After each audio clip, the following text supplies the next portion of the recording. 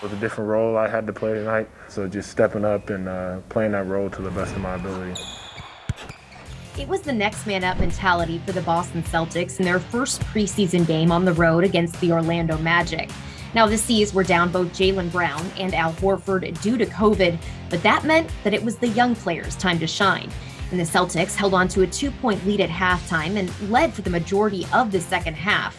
However, a fadeaway jumper by Jeff Dowtin helped the Magic slip by with a 103 to 102 victory. However, despite the Magic getting the win, Aaron Nesmith stepped up with a 23 point performance, demonstrating the growth that he took this offseason in letting the game come to him. Reading the defense, uh, being myself, and relying on the things that I worked on this summer. Um, you know, a different role I had to play tonight. Uh, like you said, who was out, so just stepping up and uh, playing that role to the best of my ability.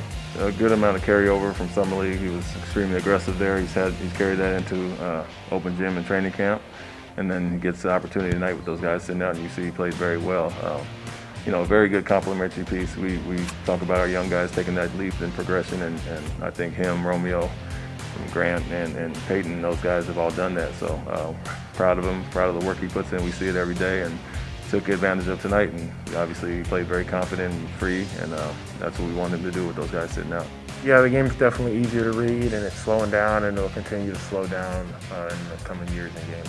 Now, Peyton Pritchard had to leave the game early after being hit in the nose, and post game, Ime Udoka revealed that it's likely a broken nose, and Pritchard is going to fly back to Boston and unfortunately won't be able to play in the Celtics' final preseason game against the Miami Heat on Friday.